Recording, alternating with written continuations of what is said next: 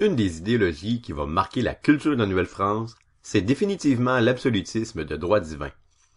En fait, cette idéologie politique se caractérise par l'application par le roi français Louis XIV d'un régime autoritaire qu'on appelle la monarchie absolue.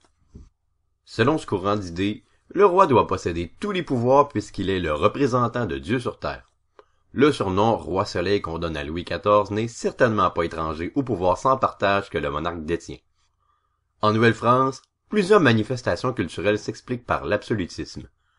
Ainsi, puisque l'Église doit elle aussi se soumettre au roi, les évêques de la colonie sont nommés par le roi, comme ce fut le cas avec Monseigneur Laval.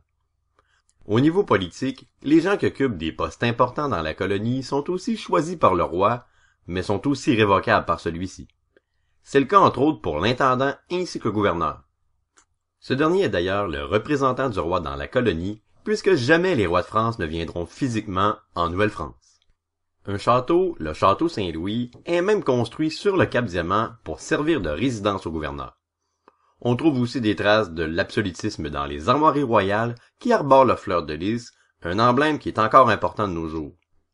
On peut aussi constater que l'absolutisme est important pour la Nouvelle-France en étudiant la toponymie de l'époque. On n'a qu'à penser à la Louisiane, à la forteresse de Louisbourg ou encore au chemin du roi pour le confirmer.